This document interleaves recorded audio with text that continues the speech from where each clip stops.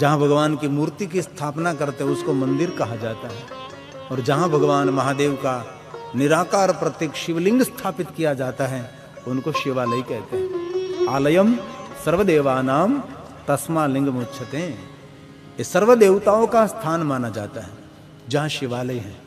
वहाँ सम, समग्र देवता वहाँ निवास करते हैं। सर्व तीर्थ वहाँ निवास करते हैं। इसलिए शिवालय कोई छोटी बात नहीं है।